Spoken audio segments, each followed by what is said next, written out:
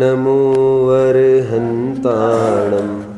नमो सिद्धाणं नमो आयर्याणं नमो वज्झायाणं नमो लोये सबसाहुणम्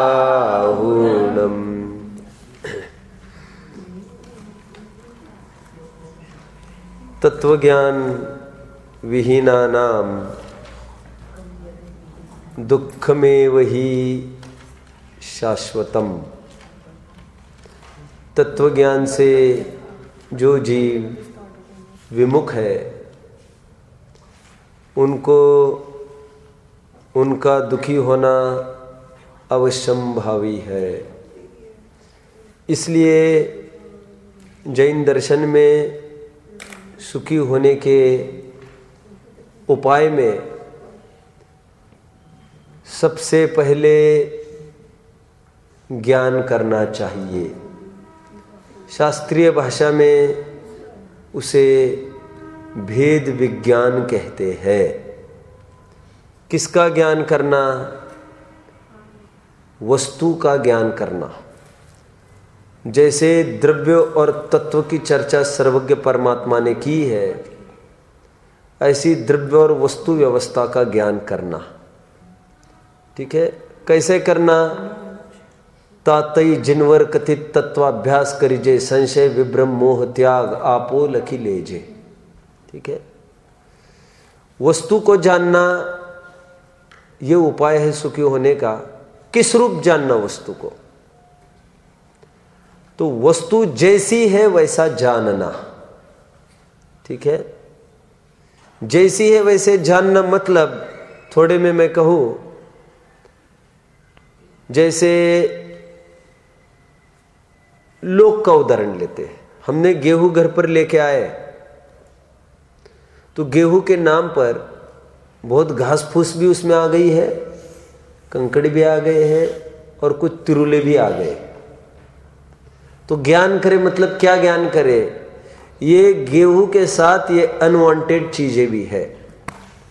ऐसा ज्ञान करे तथा यह भी ज्ञान करे ये ग्रहण करने योग्य नहीं है और ये गेहूँ ये ग्रहण करने योग्य है।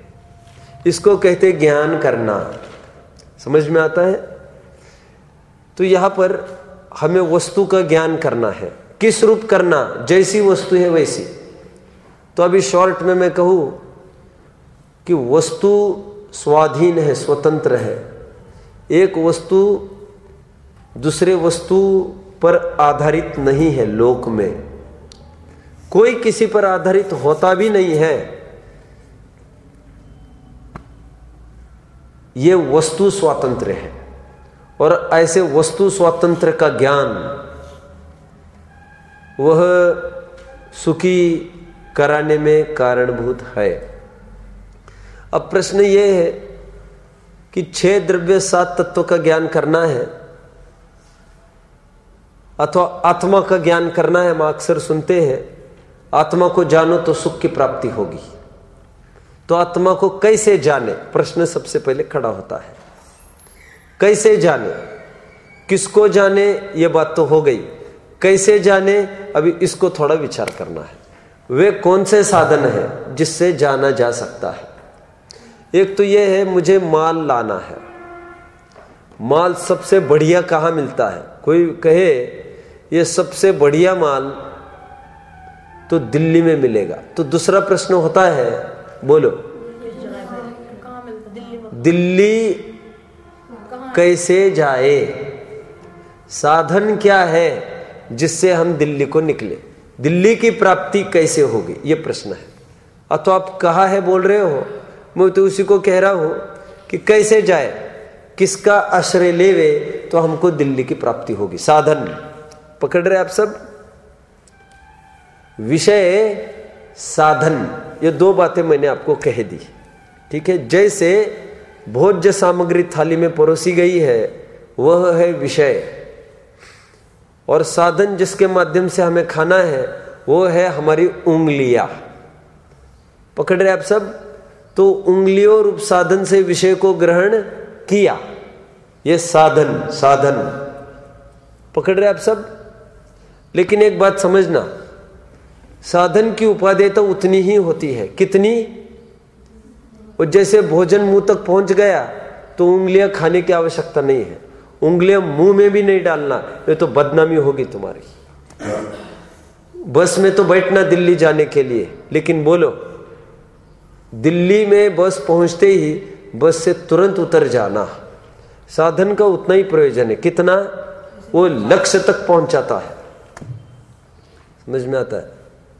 साधन स्वयं कभी भी लक्ष्य नहीं होता। समझने का प्रयास करो। हमें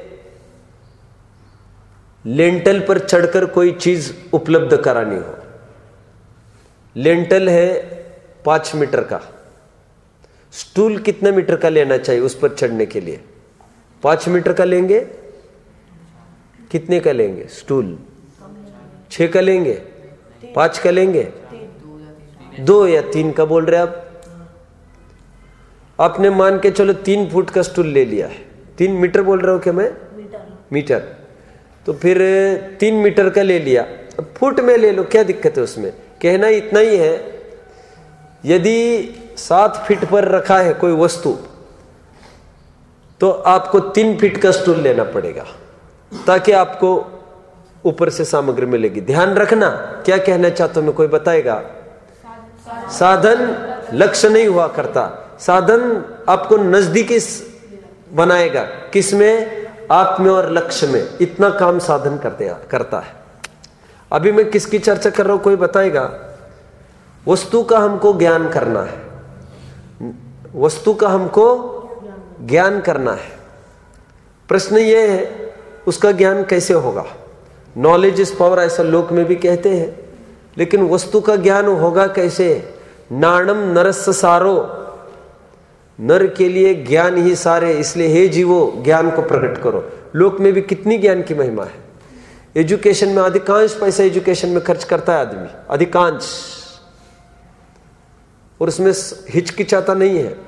पूरे अपने जीवन के अमूल्य 25 परसेंट लाइफ एजुकेशन में लगाता है। समय तो 25-30 परसेंट खर्चा करता है।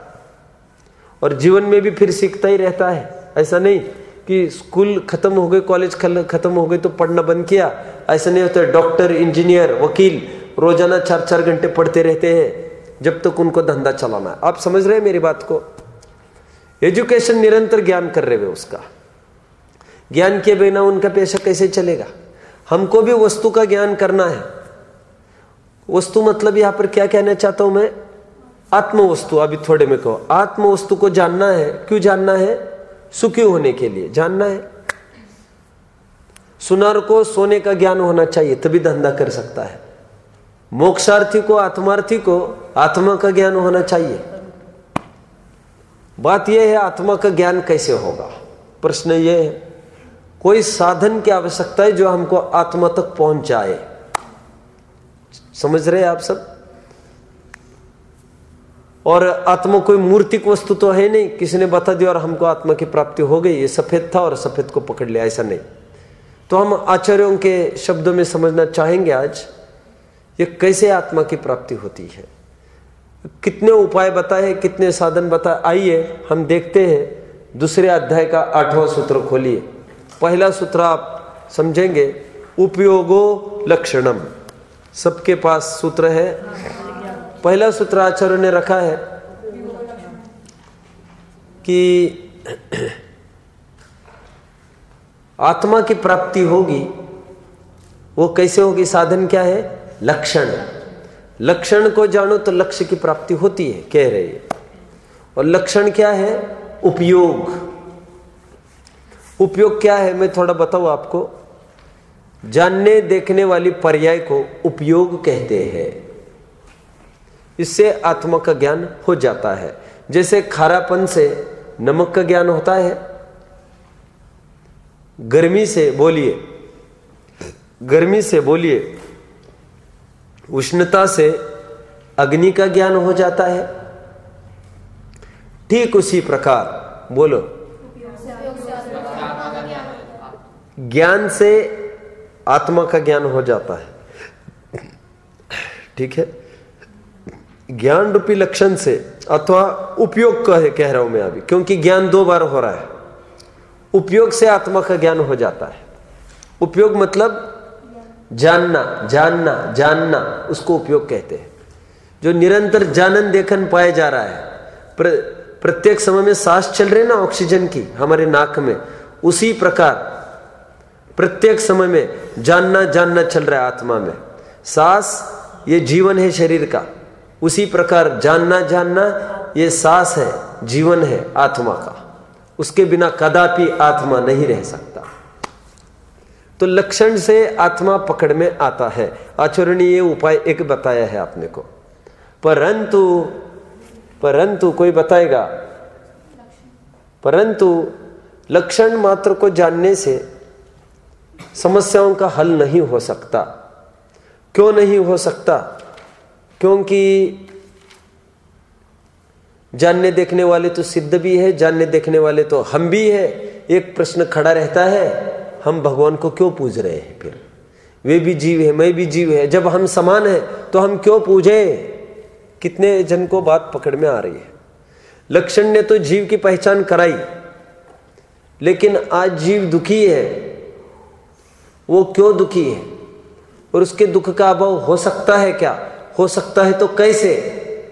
सांसारी और मुक्त ऐसे दो प्रकार के जीव हो सकते हैं क्या? हो सकते हैं तो कैसे? ये हमको लक्षण से पकड़ में नहीं आता। ये हमको समझने के लिए कुछ और साधन की आवश्यकता पड़ेगी। आप सब समझ रहे हैं मेरी बात को? लक्षण अकेले के ज्ञान से। हमको यह ख्याल में आता है, सिद्ध भी जीव है। गदा भी जीव है है ना? मैं भी जीव हूँ, सब जीव है। लेकिन सब जीव होते हुए भी एक प्रश्न मंडराता रहता है, गधा वैसे क्यों खाता है, हम ऐसे क्यों खाते हैं? हम दुखी क्यों हो रहे, वे सुखी क्यों है? यह हमको समझ में नहीं आता। समझ में आ रहे ना सबको? तो हमको विशेष और जानने की आवश्यकता पड़ती है। तो आचार्य ने कुछ और साधन बताए, जिसे और जानो। चलो, और कुछ साधन दे रहे हैं हम आपको। जिससे आप जीव को जानने का प्रयास करो। तो देखिए, अब अध्याय नंबर एक खोलिए तत्वार सूत्र का। पहला अध्याय खोल लिया सबने। पहले अध्याय में अब सूत्र देखेंगे, पांचवा, नाम स्थापना द्रव्य भाव तस्तन्यास। मिल रहा है सबको? आचार्य देव ने कहा, निक्षेप से वस्तु को जानो। निक्षेप से कैसे जानना, मैं अभी बता रहा हूँ आपको। निक्षेप से ऐसे जानना। नाम, स्थापना, द्रव्य भाव, चार निक्षेप बताए जा रहे हैं। अभी हमने पूजन के भी ये चार भेद देखे थे, आपको याद आ रहा होगा? नाम, स्थापना, द्रव्य भाव। जैसे हमें जीव को जानना है, ठीक है? हमारे बगल में एक लड़का रहता है, उसका नाम है जीव। किसी का नाम रहता है जीव? मैंने एक जन का नाम कहा था थोड़े दिन पहले। जीवराज। याद आ रहा है आपको? जीवराज नाम बताया था? जीवराज भी नाम हो सकता है। तो ग्रंथ में बार बार कहा जा रहा है, जीवराज को जानो, जीवराज को जानो। लेकिन कोई भ्रम खड़ा ना करे। क्यों? कह रहे, निक्षेप का पहले ज्ञान दो इसको। क्यों ज्ञान देना निक्षेप का? क्योंकि जीवराज को जानो तो वो जानने लगे पड़ोसी को कि इसको जानने से हमको सुख शांति होगी। कह रहे अरे बाबा, वो तो नाम वाला जीवराज है। इसको कहते हैं नाम निक्षेप। नाम का जीव है वो। चेतन को जानो। तो चेतन मतलब कोई चेतन लाल नाम का पड़ोसी को नहीं जानना था हमको। सब पकड़ रहे मेरी बात को अच्छे से? नाम निक्षेप का ज्ञान होना चाहिए आपको। कि ये तो नाम है। महावीर को पूजना। किसको पूजेंगे हम? महावीर को, अब महावीर अपना लड़का है मंगलार्थी, महावीर तो उसको पूछना क्या? उसको ज्ञान कराओ। वस्तु का ज्ञान करने के लिए नाम निक्षेप होना चाहिए। अरे नाम दिया है बस, इसमें ऐसा कुछ भी गुण जाति नहीं है। फिर, स्थापना निक्षेप। एक दिन टीचर बोर्ड पर पढ़ा रहे थे। क्या पढ़ा रहे थे? एक है जीव। देखिए ये जीव और देखिए ये है शरीर। जीव ने शरीर को अपना माना। देखो, जीव दुखी हो रहा है। तो जीव को जानो। क्या पढ़ा रहे हुए? दूसरे दिन वो आया क्लास में। और वो देखा बोर्ड पर कुछ नहीं था, बहुत रोने लग गया। बोला, मैडम, अभी कैसे जाने? जीव तो मिट गया जीव तो मिट गया अब हमको जीव को जानना था, जीव को जानना था। जानने के लिए उसको आचार्य देव ने निक्षेप बताए जीव को। अरे भैया, वो तो स्थापना निक्षेप है, स्थापना निक्षेप। मिथ्या तो बहुत बुरा होता है ना। हमने देखा उस दिन नाटक में, एकदम काला काला, मोटा मोटा मिथ्या तो होता। अरे बेवकूफ़, वो तो एक्टिंग की थी मिथ्या तो की एक जन ने। स्थापना निक्षेप कहते उसको स्थापना निक्षेप। समझ में आता है? राम कितने वर्ष पहले हो गए? हज़ारों वर्ष। अरे, हमने तो कल देखा, कल कल हुआ है यहाँ पर राम। अरे, वो तो नाटक हुआ। नाटके सो नाटक, जो टिकता नहीं सो नाटक। तो वो स्थापना निक्षेप है, भैया, तुम ध्यान से समझो। हम आत्मा के कौन से आत्मा को जानना? ना नाम निक्षेप वाले, ना स्थापना निक्षेप वाले। आगे बढ़ो। लोक में कहते हैं, आचार्य ने उपदेश देना चालू किया और कहा, आत्माओं, हे जीवो जीवो, क्या बोल रहे वे? हे जीवो। तो इन शरीर से युक्त को जीव कहा। बोलिए, इसको क्या कहेंगे? ये द्रव्य निक्षेप। आप सब समझ रहे मेरी बात को? अच्छा ये जीव है, ये जीव है, ये जानता है, ये जानता है। अच्छा मैं खाता भी हूँ, मैं जानता भी हूँ, मैं खाता भी हूँ, मैं जानता भी हूँ। द्रव्य निक्षेप। वो दोनों को एक ही मान रहा है, वो दो मान ही नहीं रहा यहाँ पर कितने जन बात को पकड़ रहे तो उसको बताए, नहीं नहीं, आगे चलो। इस शरीर में भी, ये शरीर तो एक संयोग मात्र है। उसके अंदर मूल एक चैतन्य धातु छिपी है। वो चैतन्य धातु जिसमें जानना देखना पाया जाए और शरीर में नहीं पाया जाए, वो है आत्मा, वो है भाव निक्षेप वाली आत्मा, उसको जानना है। आप सब समझ रहे मेरी बात को? कहा तक आए हम? क्या मानता था पहले? मैं खाता भी हूँ, मैं जानता भी हूँ। उसको बोला, देखो, खाने वाला अलग है, जानने वाला अलग है। क्योंकि जानना अमूर्तिक गुण है और अमूर्तिक गुण अमूर्तिक द्रव्य का होता है और अमूर्तिक द्रव्य के सभी गुण अमूर्तिक होते हैं और खाना पौदगलिक क्रिया है। वो पौदगलिक वस्तु के माध्यम से संभव है। खाता पीता शरीर है, चेतन आत्मा खाता नहीं है। वो जो नहीं, मुनि ने तो कहा, आचार्य आचार्य ने कहा, हम आत्मा है। अरे द्रव्य निक्षेप से कथन था। नाम निक्षेप, स्थापना निक्षेप, द्रव्य निक्षेप।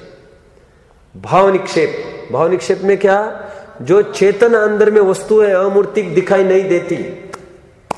देखो, तुमने ध्यान दिया होगा, डॉक्टर तुरंत हाथ पकड़कर नब्स पकड़कर कहता है he is no more about home he is talking about किसके बारे में बोल रहे वो नहीं है। मतलब कोई यहाँ पर था और आज वो घर खाली करके चला गया है। वो घर वाला अलग है, ये घर अलग है। वो किराएदार ने ये घर छोड़कर नया घर पकड़ लिया है। उपचार से उसका ये घर के साथ अभेद करके उसको नाम बोला जाता था। जैसे मैंने कहा, ये कौन है? ये सूर्यांश है। लेकिन ये पूरा सूर्यांश नहीं है। उपचार का कथन, सूर्यांश का स्वेटर हटाओ तब भी सूर्यांश पूरा है कि नहीं है? लेकिन सूर्यांश के स्वेटर को मिलाकर भी क्या कहा? यह सूर्यांश है। ठीक उसी प्रकार, सिद्धांत बताओ। शरीर के साथ जीव को कहा ये जीव है, लेकिन शरीर को हटो तो भी जीव है कि नहीं? है। अरे वही जीव है। भाव निक्षेप, समझ में आता है? आपको प्रॉपर अप्रोच से लिखना एक एक चीज़। मुक्ति बेटा, आप अच्छे से नोट कर रही हो सब बातें, एक एक। ये क्या प्रकरण चल रहा है, मुझे बताना थोड़ा? प्रकरण क्या चल रहा है? प्रकरण क्या चल रहा है? कोई बताएगा? मूल प्रकरण। हमने क्या उठाया? प्रकरण। मैंने ये उठाया, वस्तु का ज्ञान होना ज़रूरी। तो ज्ञान कैसे होगा? तो लक्षण के माध्यम से कराया। लक्षण में थोड़ी बाधा आ रही है ये। क्या बाधा आ रही लक्षण में? उपयोग तो बहुत जीवों में पाया जाता है। तो भिन्नता क्यों? भिन्नता क्यों? और फिर जीव मतलब कौन सा जीव लेना? निक्षेप चाहिए ना? क्योंकि बोर्ड पर बना जीव उसका उपयोग लक्षण थोड़ी है। निक्षेप का भी ज्ञान करा है। बेटा पकड़ में आ रहा है? भाव निक्षेप को हमने जाना। आप सब समझ रहे मेरी बात को? अब भाव निक्षेप को जाना तो काम अपना हो गया। ये जीव है मूल में, और इसका लक्षण है जानना देखना। कितने जन ने बात को पकड़ा? मोक्ष मार्ग प्रकाशक कोई उठाएँगे? मोक्ष मार्ग प्रकाशक उठाएँगे? 322 पेज खोलेंगे। 322 पेज पर आप आइए। बेन ने आपो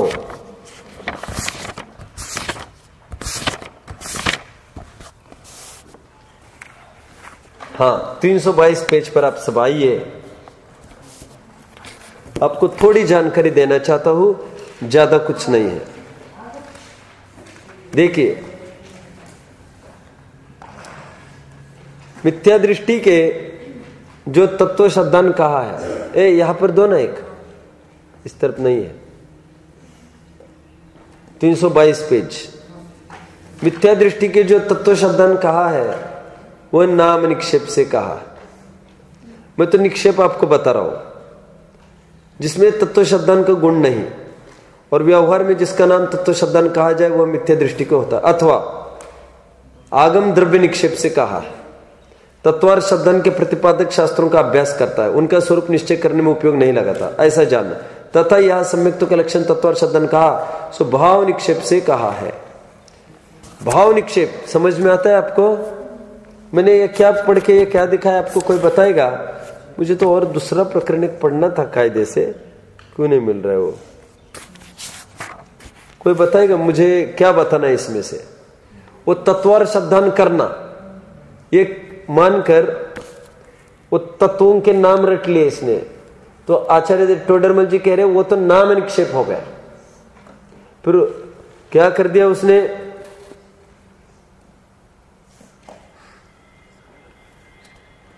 फिर जो बौद्ध ग्रंथ का पाठी है, तत्व शब्दान संबंधी, उसको द्रव्य निक्षेप कहा। लेकिन उससे भी काम नहीं होगा।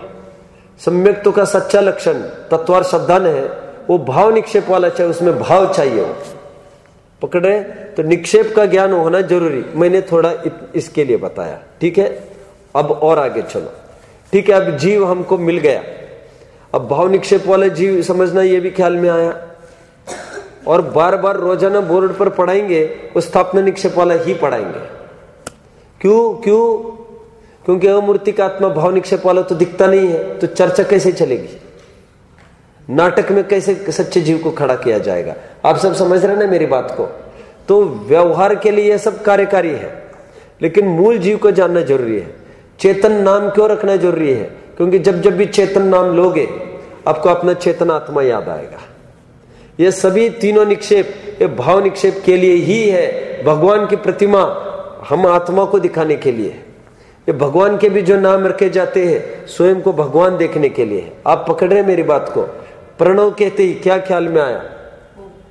प्रणव, क्या ख्याल में आया? नमोकार मंत्र, पंच परमिष्टि अपनी आत्मा निरंतर अक्षत बनी रहती है। अक्षत कहकर क्या कहा? मेरी आत्मा का कभी नाश नहीं होता। मतलब भाव निक्षेप में बढ़ना है आपको। चलना है आगे। अब भाव निक्षेप वाले जीव में भी आए। लक्षण भी पता है, लेकिन आपत्ति क्या है? तकलीफ़ क्या हो रही है? सभी जीव एक सरीके ही होंगे। हम जो दुखी है और कोई सुखी है, ये ऐसा चेंज क्यों हो रहा है? और हमारा दुख जाकर सुख भी हो सकता है कि नहीं? ये जानना ज़रूरी है। सब समझते हैं बात को? किसी के हाथ में कच्चा केला मिला, लगा वो फेंकने। अरे, मुझे तो खराब केला मिला। उनको कितना अच्छा मीठा केला मिला। नहीं नहीं, फेंको मत, तुम्हें ज्ञान नहीं है अभी। क्यों? ये पर्याय अपेक्षा से नहीं आ रहा है। लेकिन इसमें भी वही ताकत है जो उसके हाथ में, फेंको मत, तुम्हारे कल काम आएगा। आप समझते हैं? यह पर्याय दृष्टि से अंतर उसको कैसे पकड़ में आता? मात्र लक्षण से तो पकड़ में नहीं आता।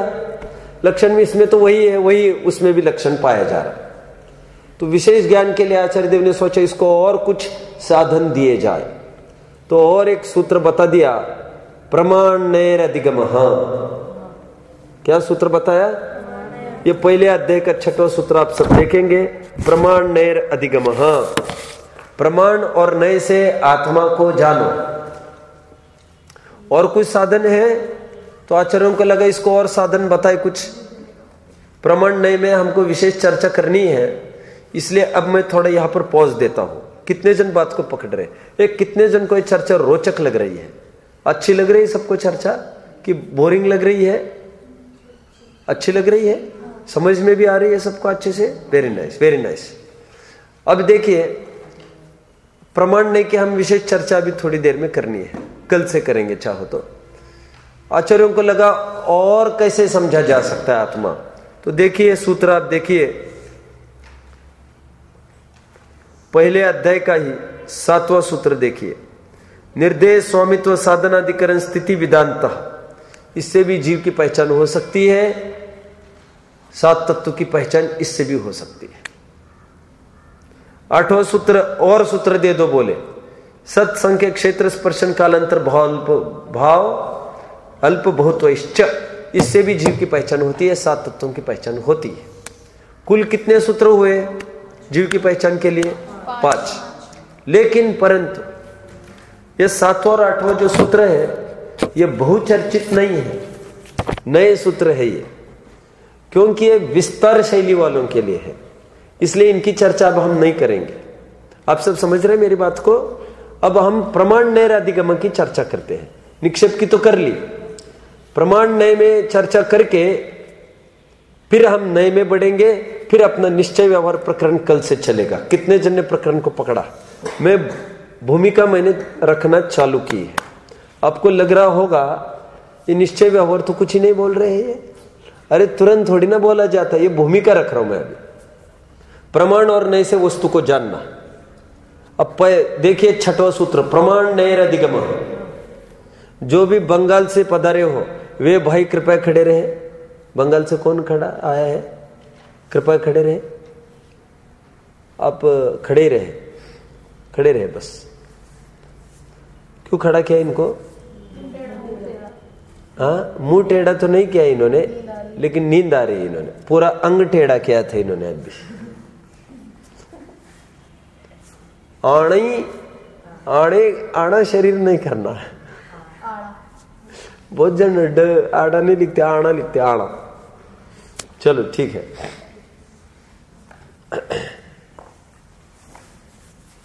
अभी देखिए, ये सूत्र देखो, पहले आज देखो छठम। प्रमाण नैराधिगम इस शब्द का अर्थ मैं आपको बताऊ आपको, सबको। वैसे पहले और एक बात बताओ ये जो निर्देश स्वामित्व साधनाधिकरण लिखा है ना ये छह वस्तुएँ हैं। कितनी? इनको छह अनुयोग कहा आचार्य ने अनुयोग मतलब जानने के साधन। और सत्संख्य क्षेत्र स्पर्शन है ना? ये बोलो मुक्ति। हाँ गड़बड़ नहीं। पिटाई होगी पिटाई। हाँ। कितने ये सब? सत्संख्य क्षेत्र स्पर्शन। आठ है आठ। सत संख्या, क्षेत्र, स्पर्शन, काल, अंतर, भाव अल्प बहुत्व अल्प बहुत्व ठीक है? अभी देखिए, ये आठ अनुयोग है। अनुयोग मतलब जानने के साधन, उपाय। ये जानने के साधन ही बताए पूरे आचार्य ने। अभी हमको किसकी चर्चा करनी है? प्रमाण नैर अधिगम इसका शाब्दिक अर्थ यह है, मुक्ति बताओगी बेटा? प्रमाण और नए, संधि विच्छेद करो पहले। प्रमाण नए है, अधिगम प्रमाण और नए से अधिगम होता है। अधिगम मतलब ज्ञान होता है, जानकारी होती है। तो यह जानने के साधन ही इनकी चर्चा हम करेंगे अभी इस सूत्र में प्रश्न पहले लिखा है, प्रमाण शब्द बड़ा है, नए शब्द छोटा है, इसमें गारव दोष आता है। द्वंद्व समास का यह नियम है कि पहले लघु अक्षरी शब्द आना चाहिए, फिर दीर्घाक्षरी शब्द आना चाहिए। सूत्र होना चाहिए था, नए प्रमाणेर अधिगम। आपने प्रमाण पहले क्यों लिखा? आचार्य देव समाधान कर रहे हैं, कहते हैं, हम जानते हैं कि छोटा अक्षर पहला चाहिए, फिर बड़ा चाहिए, सूत्र का नियम है, लेकिन और भी एक नियम है सूत्र का, कि यदि प्रमुखता हो किसी में तो उसको पहले नंबर पर रखा जा सकता है। किसने बात को पकड़ा मेरी? देखो, मीटिंग में ऐसा होता है, जब भी मीटिंग होती है तो एक सर्कुलर बांटा जाता है। उसमें कहा जाता है, आज हमको विद्वान बुलाने उस संबंधी चर्चा करनी है। एक। हमको दीपावली संबंधी, पत्रिका संबंधी, कैसी पत्रिका बनेगी, उस संबंधी चर्चा करनी है, दो। और कुछ अच्छे बच्चे हैं, गुरुकुल में, आठवीं में, नए अच्छे बच्चों में कुछ बच्चे आए हैं, उनको हम चाहते किसी रूप उनको इनाम देकर उनको सम्मानित करें। तीन। और अंतिम एक बिंदु लिखा रहता है सर्कुलर में, बोलो। कोई ज्ञान में है आपके? हर सर्कुलर में ऐसा होता है। आइन टाइम कोई नया विषय आए तो उसकी भी हम चर्चा कर लेंगे। पकड़ रहे आप सब? हर सर्कुलर में आपको ये एंड का पॉइंट मिलेगा ही मिलेगा। ऐसे क्यों मिलेगा? क्योंकि वहाँ पर यदि कोई कहे साहब आपने तो कहा था, तीन ही बिंदु पर चर्चा करनी है, चौथे बिंदु पर आप चर्चा कर रहे हैं अच्छा करने नहीं कर रहे आपने ऐसा पहले क्यों नहीं बोला? तो जो हेड है चेयरमैन वो अपने पास थोड़े से ऑथोरिटी रख लेता है कि मैंने यहाँ पर लिखा है, मैं एन टाइम कुछ भी चर्चा कर सकता हूँ। मैंने इतना क्यों कहा उदाहरण? कि हम एक एक नियम हमने हमारे लिए रिज़र्व रखा है कि प्रमुखता किसी में दिखे तो हम उसको पहले ले लेंगे। तो प्रमाण ये पूज्य है नए की अपेक्षा, इसलिए प्रमाण को पहले लिखा। ये लिखो, ये अदर इंक का पेन हो तो आप ब्रैकेट में लिखेंगे आगम अपेक्षा करेली वाले आगम की बात नहीं चल रही है। आगम अपेक्षा फिर बाद में, दो चार दिन में मैं आपको और बात बताऊँगा। दो चार दिन में नहीं। आपको तो अभी जाते समय ही कभी बताऊँगा तो बताऊँगा। जब आठ नए पढ़ाने वाला हो तो तब बताऊँगा। बैठ सकते हैं आप। सोए मत। कहा तक आए? कहा तक आए? प्रमाण ये पूज्य है। क्यों? अभी सब यहाँ पर देखेंगे। ध्यान दो आप सब। प्रमाण मतलब क्या? पहले मैं थोड़ा सामान्य परिभाषा बता दो आपको। प्रमाण समग्र वस्तु को जानने का साधन, उसे प्रमाण कहते हैं। ठीक है? समग्र वस्तु को जानने का साधन। इसको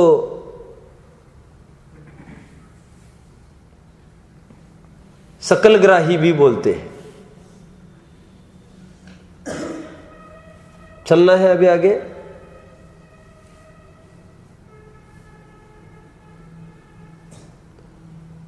सकलग्राही मतलब समग्र ग्रहण करता है प्रमाण, समग्र वस्तु को ग्रहण करता है।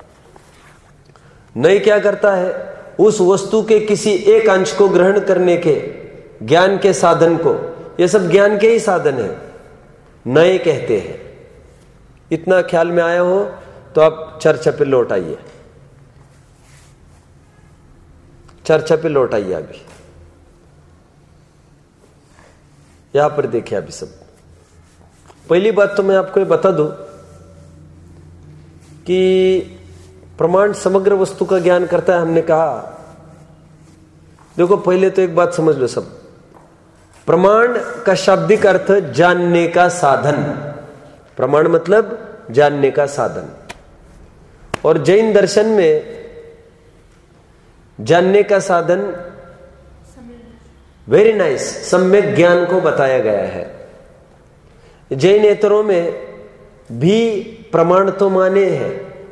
प्रमाण माने हैं सबने। लेकिन वे प्रमाण पदार्थ, प्रकाश, इंद्रियों को मानते हैं। मैंने लिया था क्या प्रवेशिका में? प्रवेशिका में लिया था मैंने इसको? नहीं लिया था मैंने। किसको मानते हैं वे? क्या? अच्छा मोक्ष मार्ग प्रकाशक में लिया था। मैंने क्या बोला? आप भी बोलिए। मैंने ये बोला, प्रमाण अन्यमति भी मानते प्रमाण मतलब जानने का साधन वे किससे ज्ञान होता है मानते हैं? इंद्रिय से। इंद्रिय नहीं होगा, कैसे ज्ञान होगा? पदार्थ नहीं होगा, कैसे ज्ञान होगा? उजाला नहीं होगा, कैसे ज्ञान होगा? ऐसा वे लोग मानते हैं। जैनियों ने यह बोला है कि पदार्थ प्रकाश और इंद्रियों से ज्ञान नहीं होता। तो ज्ञान, वो जानने का साधन क्या है? सम्यक ज्ञान से ही वस्तु का ज्ञान होता है। ऐसे क्यों बोला कोई मुझे बताएगा? सम्यक ज्ञान से, सम्यक ज्ञान को प्रमाण क्यों कहा जैनियों ने बोलिए कोई, मुझे आपसे कोई उत्तर चाहिए अभी। सम्यक ज्ञान को क्यों प्रमाण कहा जैनियों ने क्योंकि देखिए यह मोक्ष मार्ग का प्रकरण है। काय का प्रकरण है? किसने सांप को सांप बराबर जाना? देखो, इंद्रिय से हमने सांप को जाना हो गए इंद्रिय प्रमाण। आचार्य देव कहते हैं, हमारे मोक्ष मार्ग का प्रकरण है। सम्यक ज्ञान ही प्रमाण है। सम्यक ज्ञान से कैसे वस्तु को जाना जा सकता है? तो देखो कैसे जाने को वस्तु को। इंद्रिय वाले ने क्या जाना सांप को? ओ, खत्म कर देगा हमको ये। समझ में आ रहा है? तो सम्यक ज्ञान कैसे जानता है उसको? क्या कहा मैंने? अन्यमति कैसे जानेंगे सांप को? यह अनिष्ट है। घातक है। सम्यक ज्ञान कैसे जानेगा उसी वस्तु को? कैसे जान सकता है? बताए मुझे कोई। ये जीव है और शरीर का संयोग है।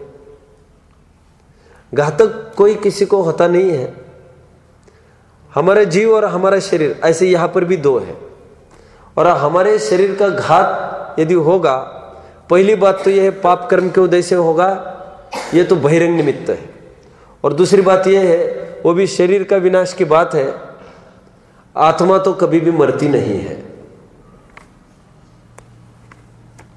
आप पकड़ने का प्रयास करो थोड़ा, मुझे क्या कहना है? मुझे क्या कहना है, कोई बताने का प्रयास करेगा? कोई बताने का प्रयास करो मुझे। Two plus two is equal to four. Two plus two is equal to four यह अन्यमति भी कहे, लेकिन वो प्रमाण ज्ञान नहीं है। और हमारा सम्यक दृष्टि two plus two is equal to three भी कहे, सम्यक ज्ञान है। ऐसा कैसे? क्या क्या क्या बोला मैंने? Two plus two is equal to three बोले, तब भी सम्यक ज्ञान कैसे? देखो, सुनो, सुना अभी। ऐसा है कि ये दो लाख, प्लस ये दो लाख ये चार लाख ओ हो ये मेरी पूंजी, ये मेरे सुख का साधन, ये चला गया तो मैं गया। जान की बाजे लगाकर भी मुझे इसकी रक्षा करना चाहिए। ये two plus two is equal to four. ऐसा ज्ञान के साथ उसको ये ज्ञान बराबर हो रहा है। इससे मैं, मेरे से ये। मैंने कमाया, अब मैं इसको भोगूँगा। इसलिए उनके, वो कहते तुम्हें जानना नहीं आता वस्तु को. कि हम जान रहे ना बराबर, दो प्लस टू इजिकल फोर ऐसा नहीं। मोह छूटना चाहिए, ऐसा जानना चाहिए तुमको। कोई शराब पीता है हुआ कहे, ए, कोई, अब शराब की छोड़ दो थोड़ी देर के लिए, कोई गाली दे रहा था। उसको कहा, देखो, तुम्हारे पिता जाए पीछे, देखो। फिर मुझे जानता हूँ, मैं पिता जाए ये ये क्या पिताजी खड़े दो फुट पर? गाली दे रहे तो वो जानता है कि पिताजी को, उसको सम्यक ज्ञान नहीं हुआ है। गाली छूटनी चाहिए तो पिताजी आने का सम्यक ज्ञान हुआ। कितने जन ने बात को जाना। अभी सम्यक दृष्टि क्या करता है देखो, two plus two is equal to भले ही बोलने में थ्री आ रहा है उसके। काउंटिंग भले ही मिस्टेक है, उसकी दृष्टि है। वो कह रही, ये तो क्या है, धूल है, मिट्टी है। यह हमारे सुख का साधन नहीं है। ये तो चारित्र मोह के उदय से हम थोड़ा सा इससे लिपट रहे हैं। लेकिन हम अंतरंग पुरुषार्थ बढ़ाए। तो आज भी मुनीश्वर ये बिना इसके रह पा रहे हैं कि नहीं रह पा रहे? और पुरुषार्थ बढ़ाए, भगवान बिना भोजन के रहते कि नहीं? कौन कहता है भोजन जीवन है? बिल्कुल जीवन नहीं है। जीव तो कभी मरता ही नहीं। तो ये पैसे में असार दृष्टि। इष्ट कल्पना नहीं है उसको। इष्ट कल्पना नहीं है उसको।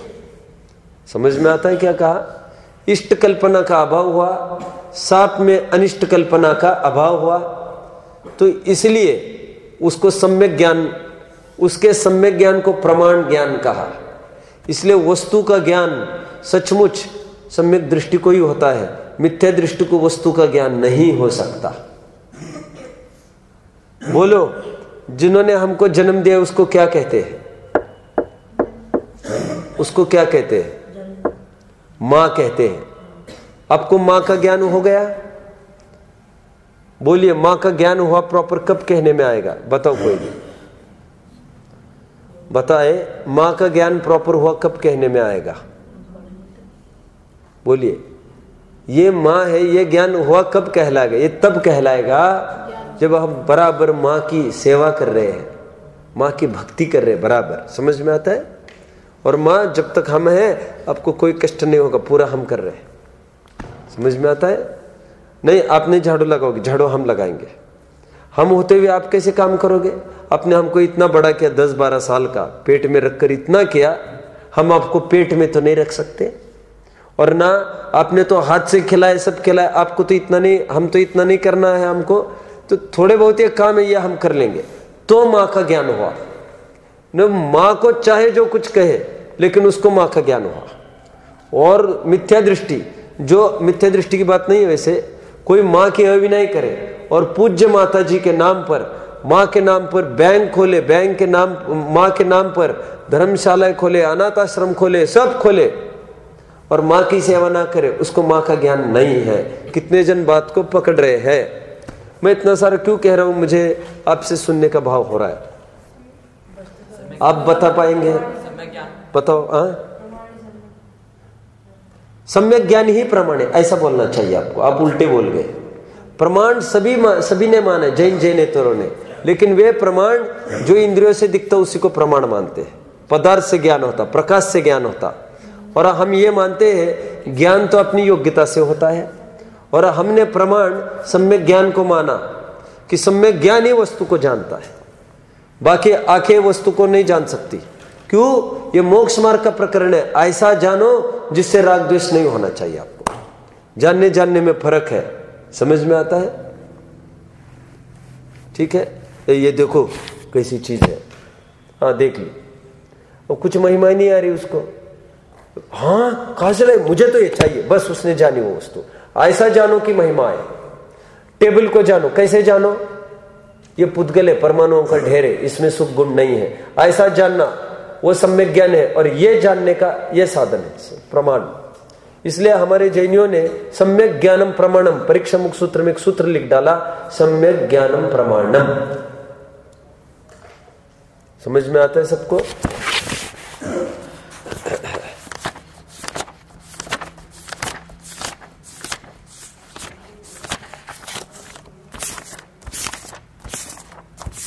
वो होगा, मैं आगे बढ़ता हूँ।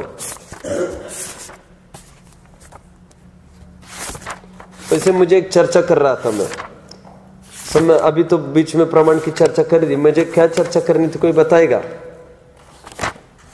चर्चा क्या करनी थी मुझे? किसकी चर्चा कर रहा था? मैं ये कह रहा था, प्रमाण को पहले लिया गया है। याद आता है आपको? अब देखिए प्रमाण को पहले लिया गया है और नए को बाद में। ऐसे क्यों हुआ? प्रमाण समग्र वस्तु को जानता है। आपको मान लीजिए, एक फ्लैट खरीदना है। आप क्या करेंगे? बोलो, संदेश, आप खड़े रहिए। आपको विद्वान के लिए कोई फ्लैट खरीदना है कि विद्वान कभी भी आते हैं दिल्ली में, उस्मानपुर में, उनको दिक्कत ना हो तो मैं फ्लैट खरीद के रखता हूँ, कोई भी आए, वो यहीं पर रहेंगे, मैं उनकी सेवा करूँगा। अब सबसे पहले क्या करेंगे? फ्लैट खरीदेंगे, फिर क्या रहेगा पीछे? खरीदने के पहले, अब सबसे पहले क्या करेंगे मैं बता रहा हूँ। अब पहले बिल्डिंग देखेंगे। अच्छा ये बिल्डिंग है और पूरा परिसर आपने देख लिया। अच्छा यहाँ पर क्या है? अच्छा यहाँ पर जैन मंदिर ही है पास में। अच्छी प्लेस है। यहाँ पर पास में क्या रेलवे स्टेशन? अच्छा आने जाने में भी सुविधा है। पास में मार्केट। हाँ ये भी अच्छा। ये बस्ती जैनियों की, ये भी अच्छा। फ़र्स्ट ये किया आपने अड़ोस पड़ोस देख लिया नेबरहुड देख लिया। अब नेक्स्ट फिर आपने देखा फ्लैट में, बगल में फ्लैट किसका? अभी बिल्डिंग की चर्चा थी, अभी नीचे किसका, ऊपर किसका? समझ में आया? बेटा। फिर बाद में आप क्या करेंगे, कितने फ्लैट कितने बीएचके का है? कितने स्क्वायर फीट का है? और फिर अच्छा इतना बड़ा फ्लैट है अब एक काम करेंगे फिर। ये फ्लैट का नक्शा। फिर एक काम करेंगे हम हम देखो, अभी कमरा देखो, उसकी खिड़की कैसी है, उसका फर्नीचर कैसा है। फिर एक एक बाथरूम में जाओ, बाथरूम में कैसी फिटिंग है, कैसा पानी आ रहा है, क्या आ रहा है एक एक चीज़ जाओ। फिर चौका, ये चौका, ये कितनी स्टेप्स हो गई? कितनी स्टेप्स हो गई? स्टेप्स में नहीं गिन रहे आप। स्टेप्स में गिनो ये। पहले अड़ोस पड़ोस देखा पूरा। अड़ोस पड़ोस बिल्डिंग, फिर अड़ोस पड़ोस फ्लैट नीचे ऊपर। फिर क्या देख रहे पूरा व्यू, फ्लैट का मात्रा अपना फ्लैट। फिर फ्लैट में भी अंदर कमरे कितने कितने बी के कितने स्क्वायर फीट कहाँ पर? बराबर ईस्ट में सब ये चौका है, उजाला आएगा। अच्छा अच्छा। फिर नेक्स्ट फोर्थ स्टेप पर क्या करेंगे? चौके में गए। कितना बड़ा चौका है? अच्छा ये चौका है। यहाँ पर ये प्लेटफॉर्म है। यहाँ पर पानी की व्यवस्था अच्छा ये है। अब सब जगह एक एक जगह जाएँगे, वहाँ पर व्यवस्था देंगे अब चौके में भी और अलमारी खोल के देखो, कैसा है अलमारी अंदर रखने करने की क्या व्यवस्था है। आप समझ रहे हैं? और फिर आपने फिर अगेन, ये सब देखने के बाद अगेन अपने उठाए वो नक्शा और फिर नक्शे पर विचार करने लग गए। कितने जन ने बात पर ध्यान दिया है? हमने समग्र पहले फ्लैट देखा, पहले तो फ्लैट का आजू बाजू भी देखा, पहले समग्र फ्लैट देखा, ये समग्र पहले देख लिया, और फिर एक एक अंश को हम देखने लग गए, और अंश को देख देख कर फिर समग्र की विशेष महिमा हमको आई, कितने जन को ख्याल में आया? प्रमाण पूर्वक नए नए पूर्वक प्रमाण प्रमाण पूर्वक नए, ऐसा चलता रहता निरंतर। पकड़ रहे आप सब? आपने देखा होगा टीवी पर क्रिकेट मैच दिखाते हैं। सबसे पहले क्या मैच चालू होने के पहले क्या दिखाते हैं? आपको, आपने कभी क्रिकेट मैच देखी है? देखिए आपने। क्रिकेट जानते हैं आप गेम है एक? हाँ। तो उसमें दिखाते जैसे कोई वानखेड़े स्टेडियम है, नेहरू स्टेडियम है, कोई भी मोहाली स्टेशन है स्टेडियम है। तो कहीं का स्टेडियम है तो स्टेडियम को दिखाते समय वे पहले दिखाते स्टेडियम के बाहर लेक इज़ फ्लोइंग। सब दिखाते हैं। पूरा पिच ऊपर से दिखा लिया। उसमें एक साथ उस कैमरा में हमको बाहर की नदियाँ दिख रही है। शहर दिख रहा है बाहर का। पेविलियन दिख रहा है पूरा। पिच दिख रहा है और पूरा ज़मीन सब दिख रही है। फिर एकदम वे फोकस करके फिर एकदम फिर ऐसा करने के बाद फिर एक फोकस स्टेडियम सुनो अभी तक यह है प्रमाण। समग्र वस्तु का ज्ञान। फिर एक फोकस पब्लिक की तरफ़। पब्लिक ये बैठी है, फिर एक फोकस, फिर ज़मीन कैसी है? कैमरा, आपने देखा है? आज की ज़मीन ऐसा लगता है, इस पर बॉलिंग अच्छा है, बॉलिंग के लिए अच्छा है, आपका क्या कहना है? समझ? हाँ इसमें बॉल अच्छे से स्पिन हो सकती है, बस इतना डर लग रहा है कि बॉलर ही स्पिन होकर गिर ना जाए।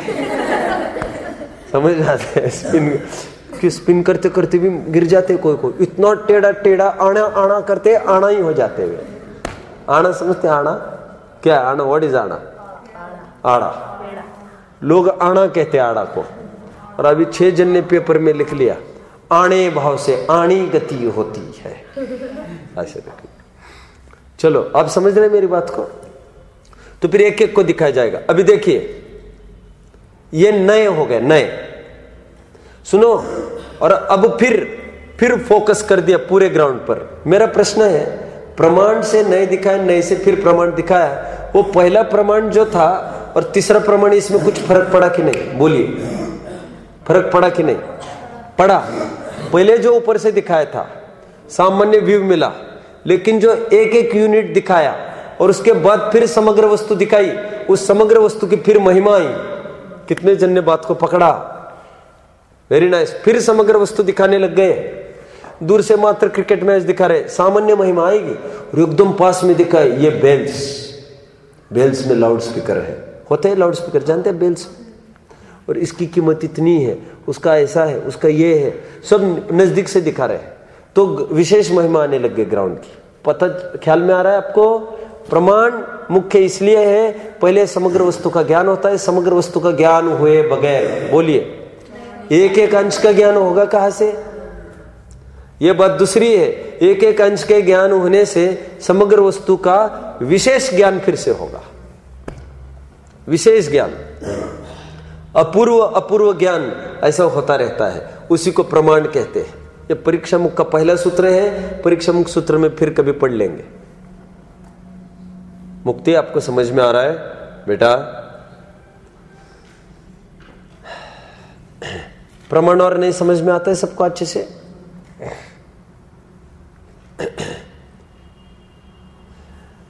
ऐसा भी होता है फिर एक साथ बॉलिंग और बैटिंग दिखा रहे लेकिन कभी कभी ऐसे भी करते मात्र बॉलर को दिखाते और बॉलर को दिखाए बॉल फेंकी फटाफट बैट्समैन को दिखाते कभी बैट्समैन कभी बॉलर कभी ऐसे दिखाते और कभी एक साथ दिखाते एक साथ दिखाना प्रमाण का काम और वन बाय वन दिखाने नए का काम।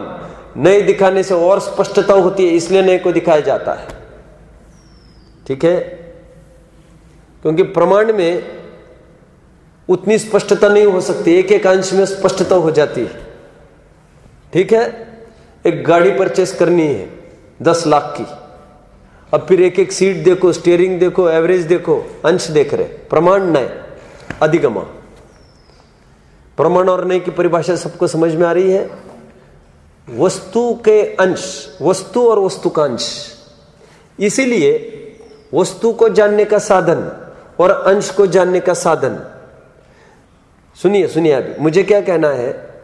वस्तु को जानने वाला प्रमाण, वस्तु के अंश को जानने वाला नए तो क्या प्रमाण के अंश को नए बोला जा सकता है?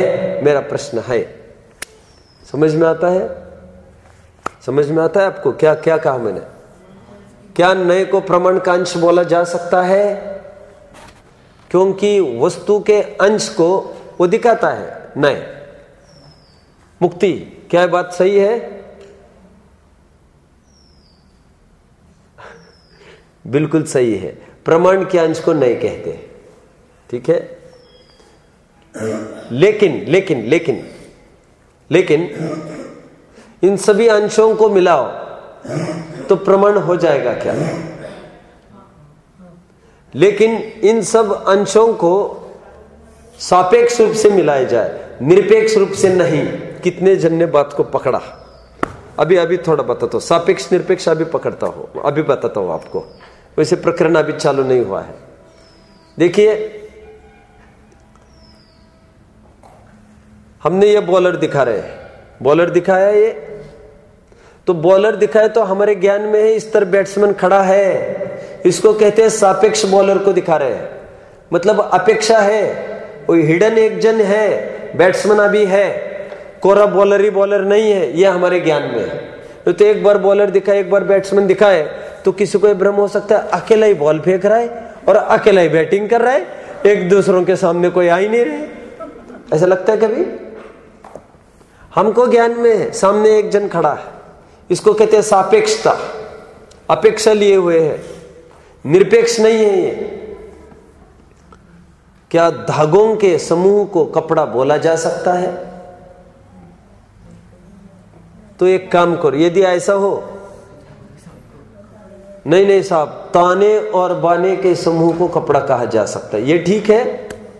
ताने और बाने के समूह को कपड़ा कहा जा सकता है? ताना बाना नहीं समझते? ताना मतलब आड़ा कपड़ा और बाना मतलब खड़ा कपड़ा। ताना बाणा, ठीक है? ताना मतलब खड़ा कपड़ा, खड़े धागे। और बाणा मतलब आपने कभी विविंग नहीं देखा? विविंग हैंडलूम पर उसमें धागे कुछ आड़े होते हैं, कुछ खड़े होते हैं। देखा है? तो उसको ताना और बाणा ऐसे कहते हैं। हॉरिजेंटल और वर्टिकल लॉन्जिट्यूड एंड लैटिट्यूड ताना और बाना अब मेरा प्रश्न है, क्या ताना और बाना का समूह कपड़ा है? धागों का समूह तो नहीं कह रहा हूँ। ताना और बाना का समूह है? तो फिर एक काम करो, सब ताने ताने ऐसे रख दो और बाने बाने उस पर रख हो जाएगा कपड़ा? नहीं, उसका इंटरमेश। इंटरमेश मतलब? इंटरमेश मतलब? वो पर्टिकुलर पर्टिकुलर उसका फॉर्मेट चाहिए। Particular mingling. मिंगलिंग समझते हो? मेश होना चाहिए particular then that will be अचार बनाना है अचार. आंवला कैसे बनाना आंवला अरे बहुत अच्छा है उस सरल है. आंवले में क्या क्या होता है हम पूछ रहे हैं कि एक तो आ, आ, तेल होता है। और वैसे सरसों तो डालते नहीं है बगार में द्विदल हो जाता है। तो कहते ठीक है तुम तेल है जीरा है नमक है बढ़िया है। तो ठीक है, अब आंवला ले लिया किसी ने उसमें तेल डाल दिया, नमक डाल दिया, जीरा डाल दिया और चम्मच में और फिर खा रहे चलेगा क्या काम? चलेगा ऐसा? अरे घोलना पड़ेगा ना उसको। और फिर घोलने से ही काम नहीं चलेगा। तेल यदि वो फ्राई, फ्राइंग कंडीशन आए, तब डालनी है सामग्री। समझ में आता है? तो क्या आंवला भी कोई कच्चा खाएगा, फिर ऊपर से नमक खाएगा, फिर एक चम्मच नमक खाएगा, फिर आधी कटोरी तेल भी पी लेगा। तो तो क्या अचार का स्वाद लेगा क्या? कि भ्रष्टाचार का लेगा स्वाद? समझ में आता है आपको? ऐसा अचार खाए कभी तुमने? तेल पिया है कभी? नहीं। फिर देखो, वो भेल बनाते ना लोग फिर थोड़ी सी सेव मुँह में डाल दो, फिर थोड़ा सा वो मुँह में डालते चलो, सीधा डालते चलो। चलेगा क्या? अरे वो पर्टिकुलर मिक्सचर करो पहले वहाँ पर। समझ रहे? नहीं तो वैसे तो पेट में तो सब भेल भेले थे अरे भेल यहाँ पर मैं इतना सारा क्यों कह रहा हूँ? कौन बताएगा? कौन बताएगा? बोलिए हाँ? देखो, मैं ये कह रहा हूँ, क्या नयों के समूह को प्रमाण कहा जा सकता है? तो मैंने कहा, सापेक्ष नयों के समूह को समूह को प्रमाण बोला जा सकता है। निरपेक्ष नयों के समूह को प्रमाण नहीं बोला जा सकता। इसका हाथ तोड़ा, उसका पैर तोड़ा, उसका आँख तोड़ी, उसको हो गया क्या? आदमी तैयार हो जाएगा क्या? आदमी तैयार हो जाएगा। आदमी को दो हाथ होते, दो पैर होते, साहब, ये दो हाथ, दो पैर हो। गए क्या? आदमी होएगा क्या? कि लूले लंगड़ों, लंगड़े खड़े होंगे ये। क्या है? सबके सब हैंडीकैप्ट है ये। आप सब पकड़ रहे मेरी बात को? सापेक्षता। परिभाषा में अपने ऐसे क्यों लिया? सापेक्ष नयों के समूह को प्रमाण का क्योंकि ये जो धर्म है, वस्तु में, आत्मा में अभी कहना हो तो ये धर्म सब सापेक्ष धर्म है। धर्म कैसे है ये? सापेक्ष धर्म मतलब एक को कहेंगे तो दूसरा गौण है धर्म, लेकिन है तो। इसलिए नई की एक परिभाषा होगी, निरपेक्षा नया मिथ्या। वस्तुते अर्थकृत, कल हम देखेंगे। क्या? निरपेक्षा नया मिथ्या वस्तु वस्तुते अर्थकृत, और कल देखेंगे। अनिराकृत प्रतिपक्षो नया। अनिराकृत प्रतिपक्षो नया। ये दोनों परिभाषा मैंने अभी बताई, इसका विशेष खुलासा अपन कल करेंगे। आप सब समझ रहे हैं? प्रमाण और नए का थोड़ा सा हमको ज्ञान करना है, और फिर दो तीन दिन में हमको मूल प्रकरण, अपना निश्चय व्यवहार यथावत चलेगा। फिर खूब आठ नयों के भेद मुझे बताने हैं, वो खूब मैं आपको नए नए उदाहरणों से इसको पुटअप करने का प्रयास करूँगा। ओम नमः।